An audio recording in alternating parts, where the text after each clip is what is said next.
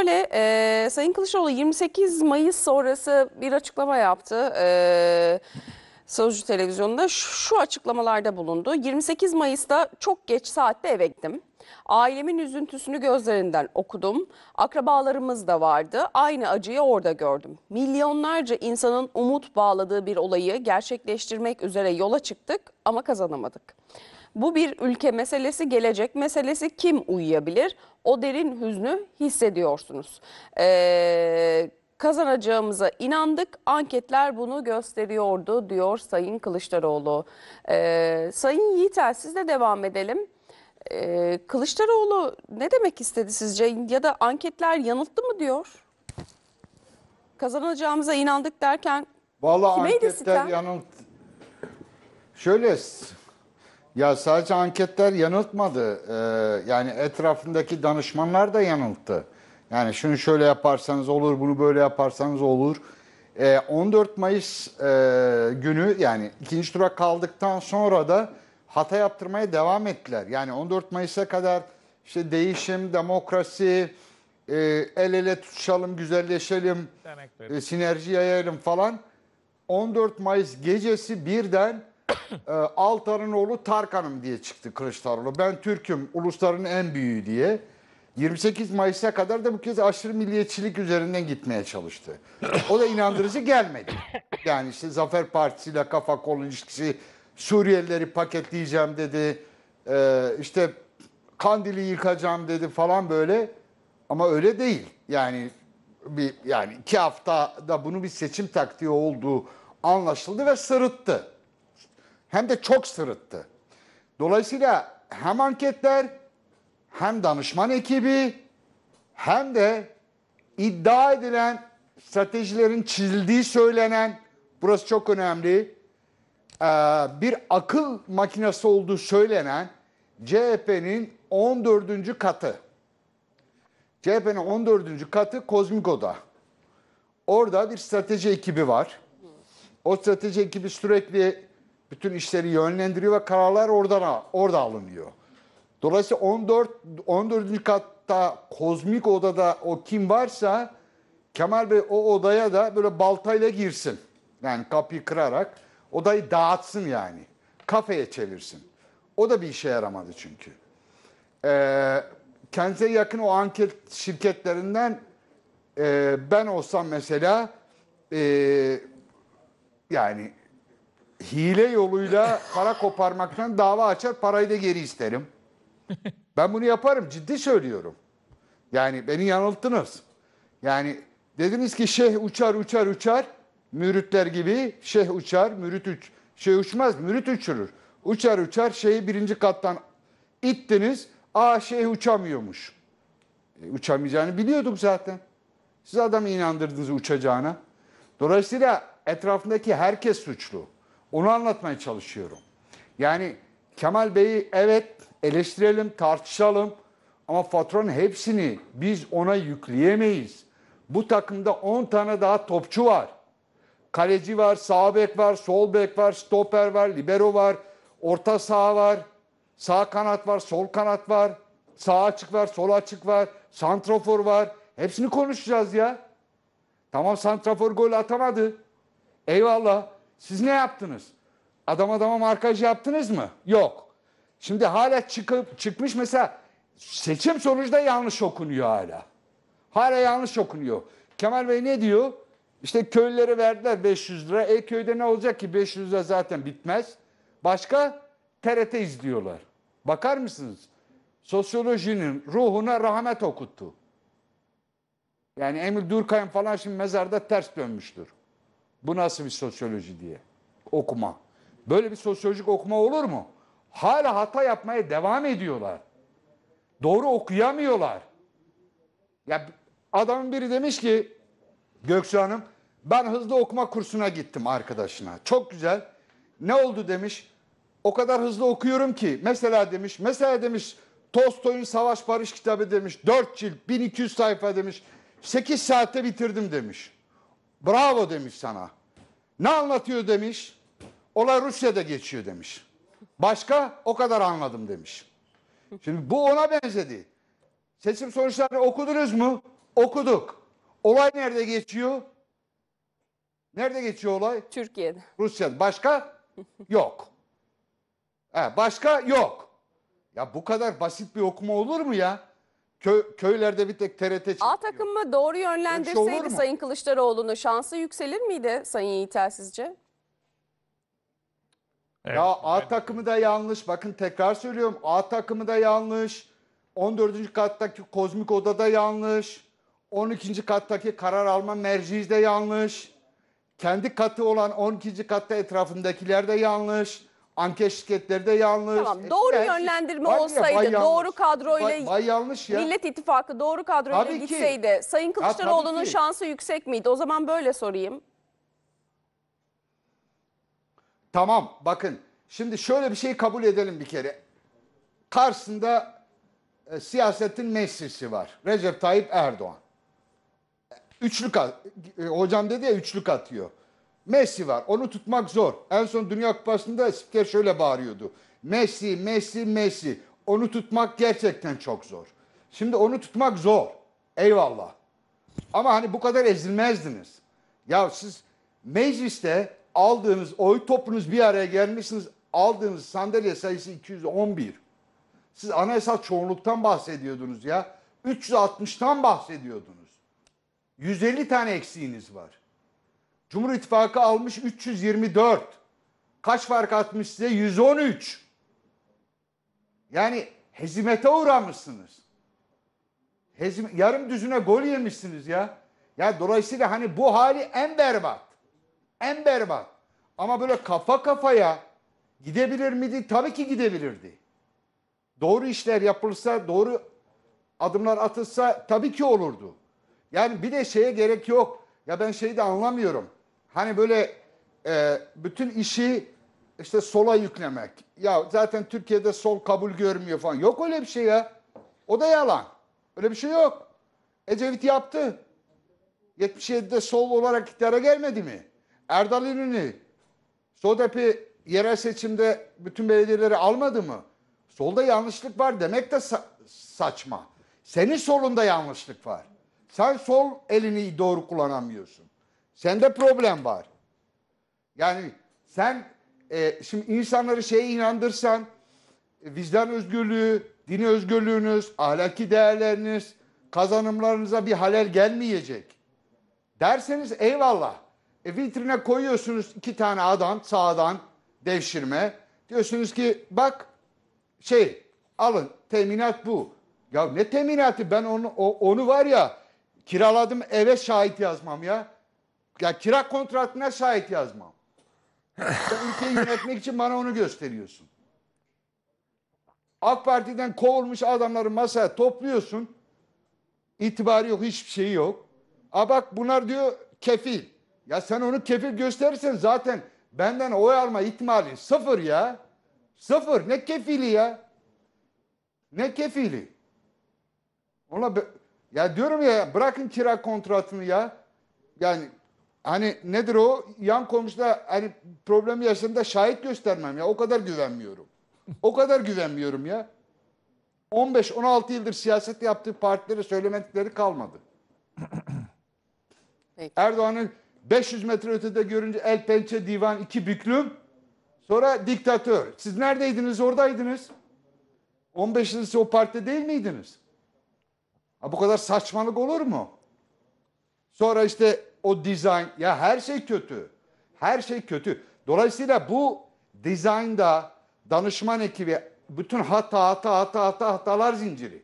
Şimdi ya şimdi bakıyorum mesela ya Şimdi mesela şey e, Konda ne demiş? Demiş ki sen demiş e, ikinci turda alırsın. E, ondan sonra ba- e, şey ne demiş? Mak ne demiş? Demiş ki sen ilk turda 50,9'la alırsın. Ondan sonra ORC ne demiş? Demiş ki sen 44'e 51,7 alırsın. Artı bir ne demiş? Sen 44'e 50 artı 1 alırsın. PR ne demiş? 45'e 51.3 alırsın. Bunlar kim ya? Ya- Yani hele bir Avrasya 44'e 51 alırsın. Hele Avrasya o tam şeydi. Meclis çoğunluğunda alırsınız. İlk turda da alırsınız. İlk, ilk başlarda 55-54 ile başladı sonra 51'e indi. 51 ile alırsın.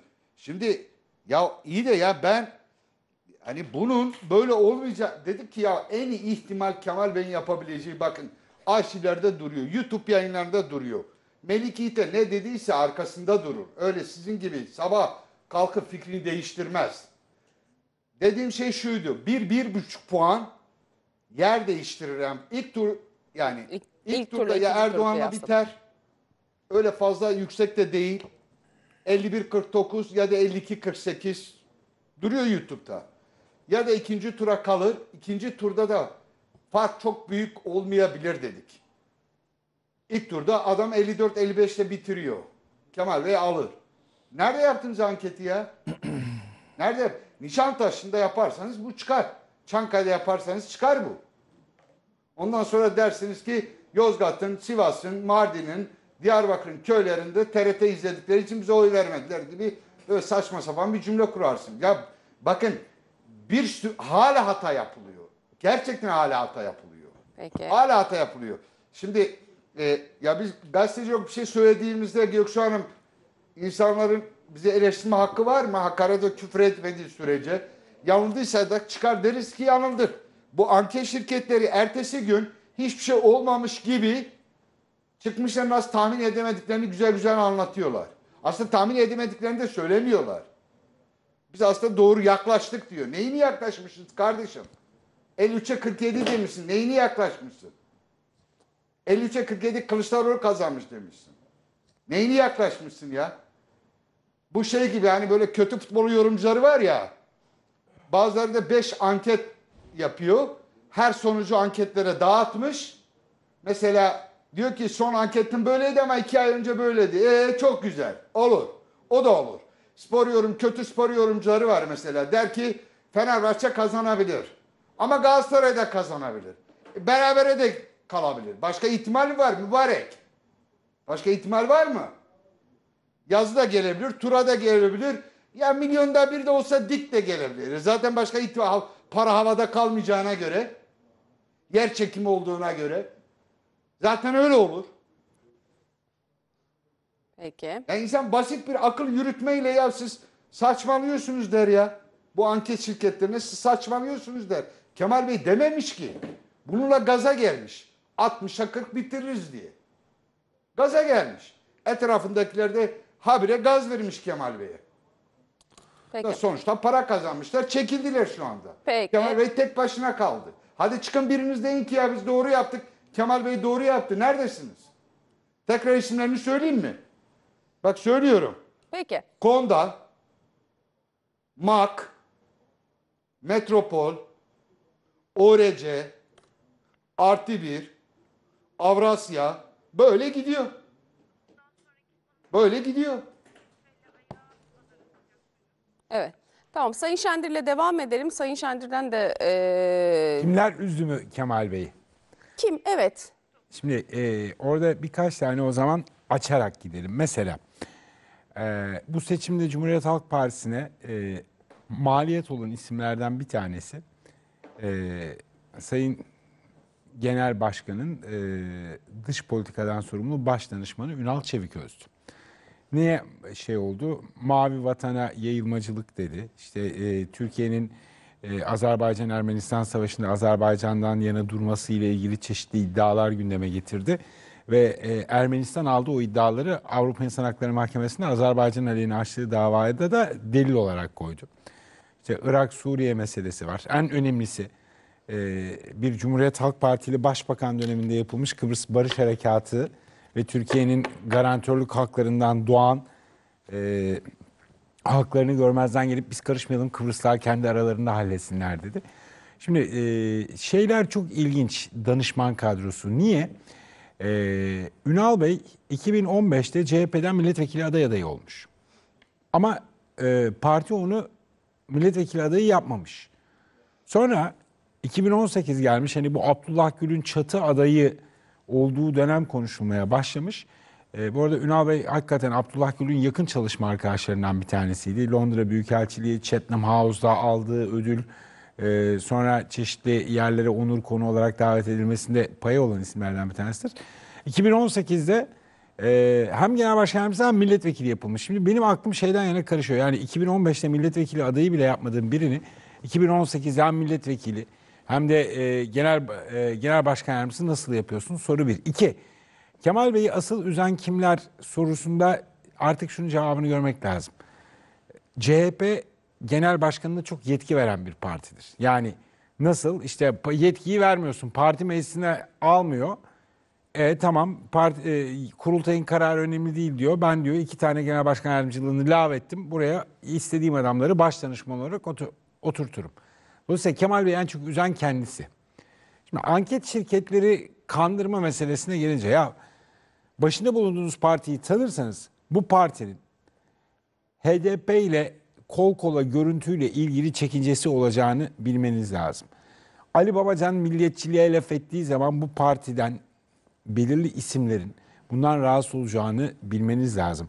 Batı'dan aferin almak üzerine bir politika kodlandığı zaman bundan rahatsız olacağını bilmeniz lazım. Yani e, bizim terk ettiğimiz CHP derken siz Mustafa Kemal Atatürk'ün CHP'sini terk ettiğinizi söylüyorsanız Burada da bu rahatsızlığı görmeniz lazım. Bakın e, seçimler dünkü e, cuma günkü konuşmadan e, can sıkıcı laflardan bir tanesi şu. İşte büyük şehirler demokrasiden yana oy kullandı. Kendisine verilen oyu demokrasiden yana görüp bir başka partiye verilen oyu, rakip partiye verilen oyu demokrasi dışı ilan etmek aslında bu kaybettiriyor zaten. Bakın kaybettiren şey özü itibariyle bu. Siz Nasıl olurdu o belediye başkanını ikinci tur öncesinde partide disipline vermezsiniz sorusunun cevabı ortada. Ya şöyle bir şey olabilir mi? Bakın toplumun her kesimi bir görev görür. Şu tartışma Türkiye'de çok çirkin yapılan bir tartışma. Benim oyumla çobanın oyu bir mi? Kardeşim çoban olmazsa o hayvanlar meraya dağa çıkmazsa sen eti bugün Kurban 400 bayramı lirada yiyorsun 1 milyon 1000 liraya yersin. Koronavirüste biz ne gördük? Gıda güvenliği çok önemlidir. Arzın sürmesi gerekiyor. O yüzden çiftçi çok kıymetlidir. O yüzden hayvancılık yapan çok kıymetlidir. Fabrikadaki işçi kıymetlidir. Tekstil atölyesindeki o overlock'un başındaki kız kıymetlidir. Çünkü onun yaptığı ihracata gider. Onlar ülkeye döviz kazandırır. Şimdi Anadolu'yu reddederek Anadolu'daki insanı bir de böyle bir kaşın havada sen bana oy ver ben seni çok iyi yönetirim demekle olmuyor. Bunu değiştirmek gerekiyor. Bakın birkaç tane hata söyleyeyim size. Gürsel Tekin kim? Cumhuriyet Halk Partisi'nin eski İstanbul İl Başkanı. Değil mi? Partide yöneticilik de yaptı. Ya adamı seçim çalışması için Kars'a yolluyorsun. İstanbul'daki örgütü en iyi tanıyan adamdan bahsediyoruz. Adam gitmedi Kars'a. Ben dedi çalışmalarımı İstanbul'da devam edeceğim dedi. Şimdi hata silsilesine ben deftere çok şey yazabilirim. Mesela e, önemli bir e, sosyal medya mecrasında özellikle 40 yaş üstünün çok kullandığı bir sosyal medya mecrasında son 3 hafta neden çok az reklam çıkıldığının bir açıklaması yok. Ama bir 367 milyon reklam bütçesi de tartışılıyor. Şimdi bütün bunların hepsi alt alta yazdığınız zaman e, insanın kafasında soru işareti. Yani kalkıp siz Teknofest'e gitmiyorsunuz. Hadi gitmediniz. Ya Ali Babacan sadece Türk milliyetçiliğine laf etmiyor ki. Tarikatların e, örgütlenmesinden bahsediyor. Ulusal savunma sanayi ile ilgili laflar ediyor ve sen bunlara bir şey demiyorsun. Sırrı Sakık çıkıyor diyor ki Sırrı Sakık'ı biz nereden tanıyoruz? Mustafa Kemal'in askerleri izlediniz. Mustafa Kemal'in generalleri olsanız ne yazar? İt sürüsü diyen kişiden bahsediyoruz. O diyor ki Hangisi ilk sürüsü ya? e, kapalı kapılar ardında ya şimdi e, ben Rütük'ten kanalın başını belaya sokmayayım diye pas geçiyorum. Ya, Türk ordusuna kimse dil uzatamaz. Şimdi e, Eğer Türk ordusu olmazsa o Türkiye Cumhuriyeti'ni nasıl vekillik yapacak? ben devamını şöyle söyleyeyim size bakın e, FETÖ ve PKK'ya mesafe koyma meselesi e, Mesut Hoca Türk ordusundan bahsettiği için söyleyeyim. Şemdin Sakık değil mi? Şemdin Sakık Ergenekon davasında, Balyoz davasında dönemin Genelkurmay Başkanı İlker Başbuğ'a karşı gizli tanık yapıldı FETÖ'cüler tarafından. Bir Türk Genelkurmay Başkanı'nı FETÖ'cüler aldılar. Bir e, terör örgütünün yöneticisini onun aleyhinde gizli tanık yaptılar. Türk donanması gemiler çıkamadı.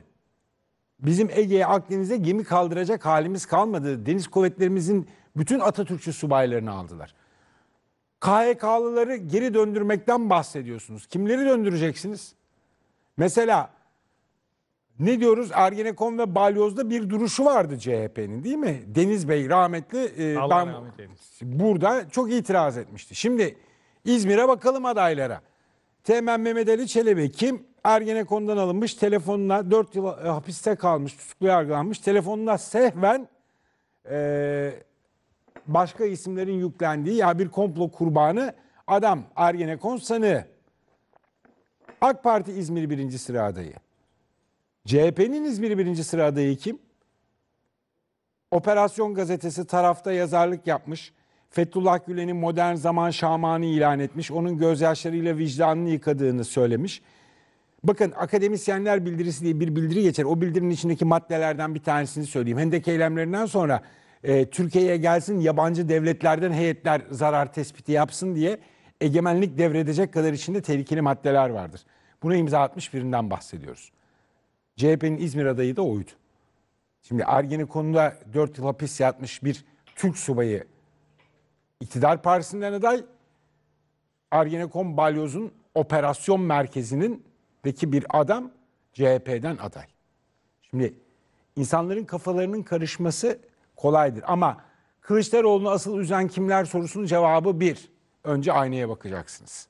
Ahmet Telli'nin bir mısrası vardır. Ayna pusluydu bunca yıl nice sır taşımaktan diye.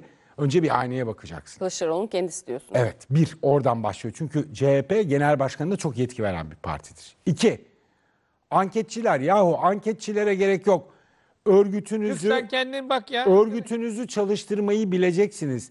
Anketçiler mi hem 2018'de hem 2023'te sandıklardan seçim sonucunu alamayan? Hadi şeyde hata anketçilerde diyelim. Bizi yanılttılar, gaza getirdiler. Bu nasıl bir mantıksa bunu anlamıyorum da.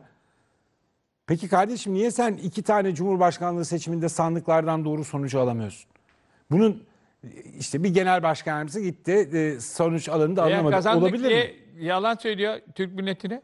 Yani şimdi sonuç olarak e, dijital reklamlar nereye verildi? Bakın soruşturulması gereken, konuşulması gereken bir sürü şey var Cumhuriyet Halk Partisi'nin içerisinde. Ama ilk konuşulması Ama bunlar gereken taktik şey hocam. Hep taktik bunlar. İlk Esas konu- strateji bozuk. ilk konuşulması gereken şey CHP'nin ideolojisine Kemal Bey'in terk ettik dediği CHP Mustafa Kemal Atatürk'ün CHP'si mi? Evet. Şimdi- mesele o. Çok acı bir şey söyleyeyim size. Bakın Kemal Bey'in genel başkanlığı döneminde şöyle bir şey gördük biz Türkiye'de. Ee, CHP Gençlik Kolları 2016 mıydı tam hatırlamıyorum ama işte İbrahim Kaypakkaya e, Mustafa Kemal Atatürk'e dair en sert cümleleri kurmuş isimlerden bir tanesidir Türk Devrimci Hareketi'nde. Mesela e, CHP Gençlik Kolları İbrahim Kaypakkaya'yı andı ölüm yıl dönümünde. Atatürk'e en ağır cümlelerle eleştiri getirmiş bir isimdir İbrahim Kaypakkaya. Dolayısıyla Atatürkçüyüz demekle Atatürkçü olunmuyor. Yani e, dönüp mesela orada Sivas Kongresi'nde Amerikan mandası isteyenlere karşı Mustafa Kemal Atatürk'ün verdiği mücadeleyi bilmezseniz o Amerikan mandası isteyenlerin Sivas Kongresi'nde Ankara'da mecliste Mustafa Kemal Atatürk bir daha milletvekili seçilemesin diye yasa teklifi verdirdiklerini bilmezseniz bütün bunların hepsini bilmezseniz ne Mustafa Kemal Atatürk'ü anlayabilirsiniz ne de gerçekten Atatürkçü olabilirsiniz.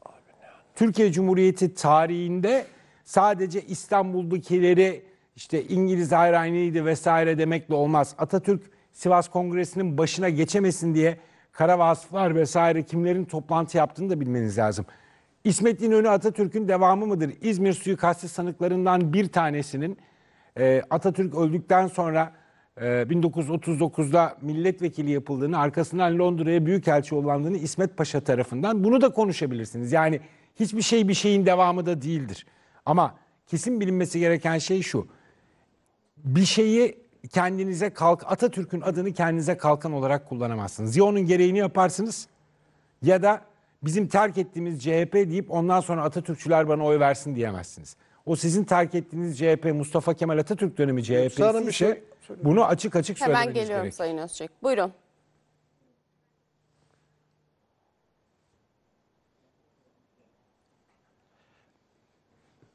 Buyurun Bana Sayın verdiniz? Evet, evet.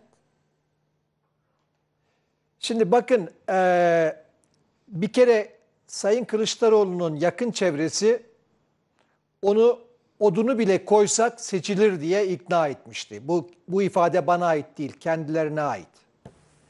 Şıh uçmazmış, müritler uçururmuş derler ya. Böyle bir manzarayla karşı karşıyaydı Sayın Kılıçdaroğlu. Şimdi bakın seçim sonuçlarını en iyi değerlendiren Amerikalılar. Çok gerçekçi bir yaklaşımda bulundular. Onların değerlendirmesini kendi cümleleriyle e, aktarıyorum. Seçimi sade Kılıçdaroğlu kaybetmedi. Amerika ve CIA de kaybetti diyorlar. Bakın e, bu çok çarpıcı. Amerikalıların bu tespiti yapmış olması da son derece önemli diye düşünüyorum. Şimdi çok tartışılan isimler var. Yani CHP niye bu hale geldi diye. Yani şimdi siz iki tane kritik isim var. Bir e, ekonominin bu hale gelmesinin sorumlusu. Diğeri de dış politikada Suriye'de en büyük hataları yapan isimlerin başındaki kişi. Siz ikisini de almışsınız, masaya oturtmuşsunuz, ortak yapmışsınız. Ondan sonra da niye oyalamadık diye ya bunu tartışıyorsunuz. Yani bunun e, fazla bilmiyorum tartışacak bir yanı var mı? Yine bu çok tartışılan isimler. Yani diyelim ki e, işte Kıbrıs'ta bırakalım kendileri anlaşsınlar diyenler. Mavi Vatan konusundaki açıklamaları. Yani bu isimler CHP'de CHP tabanının istediği isimler de değil. Aslında parti meclisinde de seçilmiş isimler değil. Peki bunlar kimin kontenjanından buraya geliyorlar? Yani bu sorunun yanıtı yok. Ben bunu CHP'lilere de çok soruyorum. Ya bu kişiler nereden geldiler? Bunları CHP'li diye bilen de yok. Peki hangi kontenjandadır? Bu kimin kontenjanıdır? Ya bu soruların yanıtlarını kimse veremiyor şu ana kadar. Yani niyedir? Yani dış mesela tipiktir. Dış politikadan sorumlu genel başkan yardımcısı veya genel başkan danışmanları. Ya kimdir? Yani nereden gelmişlerdir? Yani daha önceki isimlere bakın, bunlara da dikkat edin. Hiç CHP'li bir yani CHP gelenekleri olan bir partiydi ve oralarda e, belli bir yerlerden geçmen gerekirdi. Ama bunlar yok. Yani özellikle Baykar'a kurulan kumpastan sonra bunlar yok. Şimdi e, peki CHP konusunda artık tartışma bitti mi? Yani benim yani son yapılan özellikle uluslararası değerlendirmelerden gördüğüm e, pek vazgeçmiş gözükmüyorlar. Yani Amerika pek vazgeçmiş gözükmüyor. Önümüzdeki dönemde e, öyle sanıyorum bu politikalarına devam edecekler. Ben Sayın İmamoğlu'nun e, yeni atraksiyonlarını da yani yeni hamlelerini de bu çerçevede görüyorum. Ve önümüzdeki günlerde e, onun önünü açacak bazı gelişmeler olabileceğini sanıyorum. Yani birinci seferde onu çok ısrar ettik aday yapmak için. Hatta işte Saraçhane olayı şusu busu var. Ama bir şekilde olmadı. Ama bundan sonra tekrar e, biz onunla yola devam edeceğiz diye bir çalışmaları olduğunu sanıyorum. Ve e, gelişen olayları da bu çerçevede değerlendirmek gerektiğini düşünüyorum. Yani e, işte biraz önce Mansur Yavaş'ı falan konuştuk. Yani Mansur Yavaş CHP Genel Başkanlığı için pek aday olmaz yani. O- Yok mümkün değil. Mümkün değil O yani. şeye asist yapabilir. Ekrem Bey asist yapabilir. Ha. Seçilsin diye. Evet yani beraber hareket edebilirler. Evet, evet. O Ee, o da var. İyi Parti de bu işin içindedir. Yani İyi Parti bir anlamda o da müdahil olacaktır öyle gözüküyor. Yani onu da o çerçevede değerlendirmek lazım. Yani e, her ne kadar CHP'nin belediye başkanıysa da yani ne kadar CHP'lidir yani kendisine sorsanız da çok net bir şey söyler mi? Emin değilim. Peki. Şimdi çok kısa bir araya gidelim. Ee, aranın ardından devam edeceğiz.